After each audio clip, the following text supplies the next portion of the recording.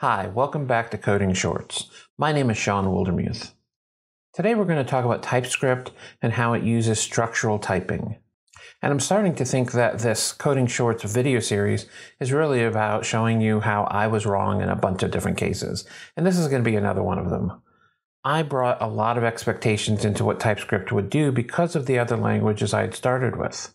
And the hope here is to show you how the type system is different than type systems in other languages, notably C Sharp, Java, C++, etc., so that you can understand the differences. So when you come to TypeScript, you can make better sense of the important ideas behind inheritance, behind classes, interfaces, and in no small measure, types.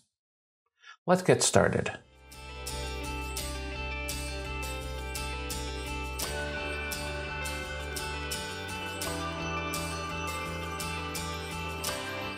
Let's start with some code that could be TypeScript, could be JavaScript.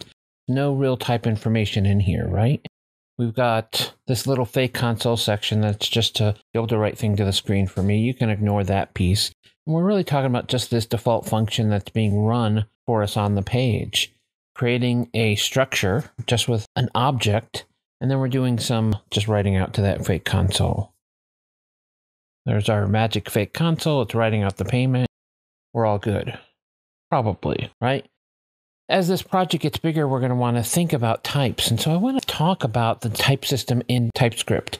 Because if you come from a typed language, something like C Sharp or Java, you might be assuming that this type system, even though it's checked at compile time only, is the same sort of type system than you're used to. Sure, you can't check for things at runtime as easily, but you still want to have some notion of that. And so we have this structure here that we might want to type check, right? And so one of the things we can do if you come from that world is you might create an interface that matches that, right? And I'll call this our payment interface. You can use an I before payment or not. I'm sort of stuck in the TypeScript world where they don't bother with that I from C sharp. I don't think it matters that much.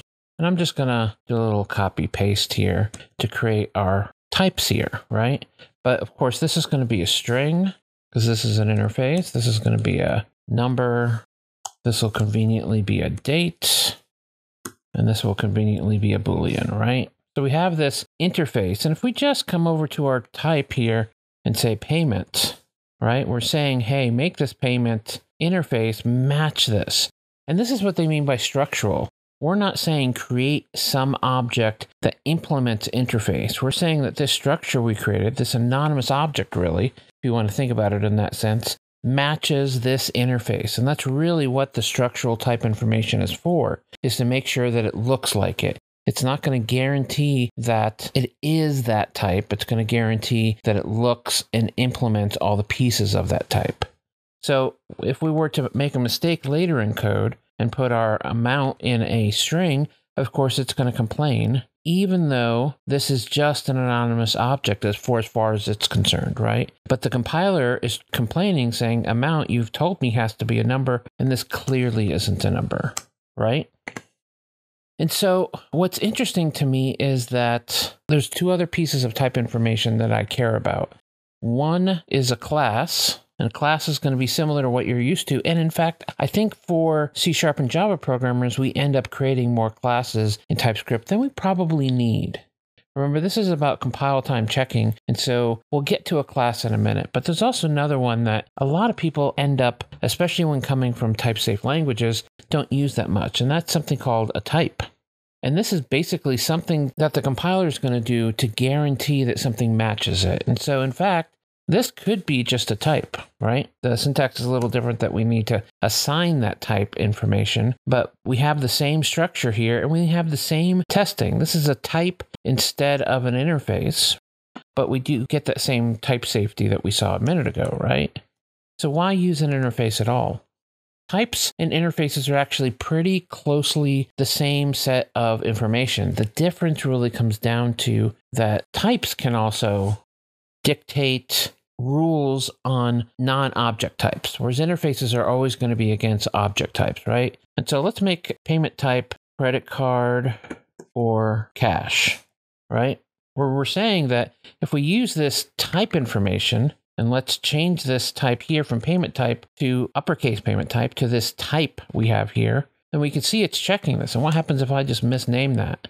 It doesn't follow this type information.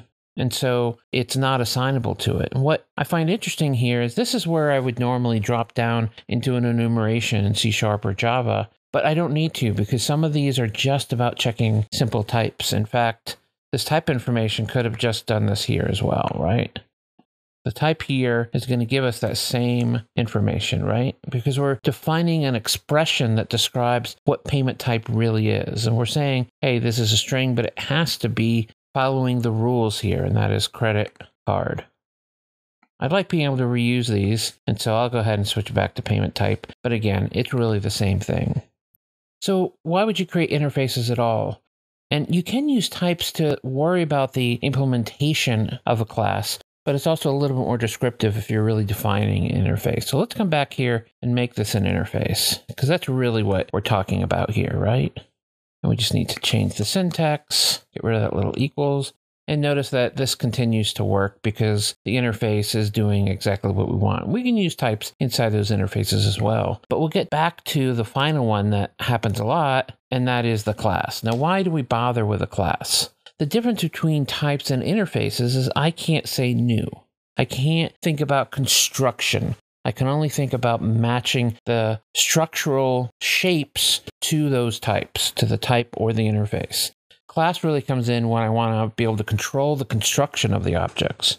And by using a class, we can introduce the idea of a constructor, right?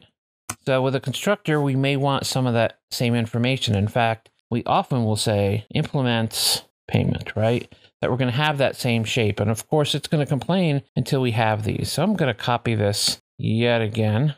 And I could create members for this, but I find it a little easier sometimes because I want the same structure to just make these public members of the constructor. Because I still need all of these in here. And there are different ways we could do this. I could accept a object that has the interface of the payment and then do copy of one over the other. But I just find this a little easier. Again, I'm using public here really to define that I'm going to have properties of them, right? And of course, the interface is going to say fine, doesn't give us that underscore anymore because we've implemented by having each of these types that match the underlying types. And so that means if we want this to be a payment entry, right, we don't need the type there anymore because what we're going to do is actually assign a new payment entry. We're allowing ourselves to have control over the construction as well as have default implementations, right? Let's come down here and let's just clean this up a little. We don't need the names in here anymore. We just need the values. Get rid of that. And in fact, let's move this to a method. So let's say log payment. Tell it that we don't want a, an end. And we'll just use fake console to do that again. And of course, it's going to be this dot amount here because we're part of this class we would be part of this class if I didn't have too many of these. There we go. Because we're now part of this class, and of course then down here, we could just replace that with payment.log payment and be done with it. We still get the same functionality, but we've sort of wrapped it in here. And so this idea of construction and behavior is one where using classes makes a lot of sense. But using classes just because you're dealing with, let's say, data from a web service or something where you're just getting structural data, I think class is often overused in order to implement that. Interfaces and types are more than fine. The last thing that you may need, though I have to tell you, I rarely, rarely use it inside of TypeScript, is inheritance. So being able to say class billing payment entry extends payment entry, right? We have that ability to have a class that extends another one and let's copy this constructor real quick. Though we're going to change it in some small, subtle ways because we actually want a public date due in here as well. That has to be a date, right? Now it's giving us all these complaints because we actually don't want these to create these as public because, of course, the base class has implemented all but one of those. And in order to make this work, we're going to have to call super payment type amount approved I think I missed one payment date. In order to pass those down into the other constructor, right? Now, this still creates a public member. And so when we look at the payment entry, we change this to new billing payment entry, right? It's going to expect us to have what? New date as our due date, right? Obviously, having the approval date and the date due on the same day doesn't make a lot of sense, but it gives us that ability. And log payment still exists because it's within the derivation of that particular class, even though we're using this other class. We could even take this and go, you know what? We want our own implementation here. And let's go ahead and say do this dot due date, right? Of course, that works here, wouldn't work here because we've extended that to support that. And log payment here, notice it's going to be calling the billing log entry payment, not just the log entry payment, because one exists at that level.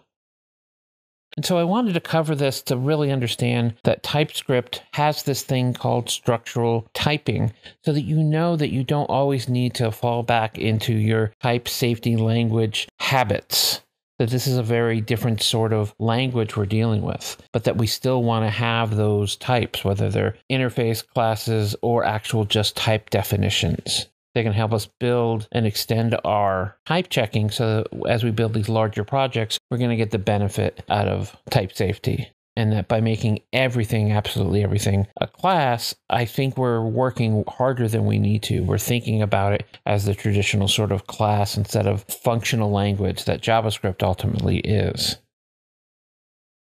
This has been Shawn Wildermuth again on Coding Shorts. Thanks for joining me.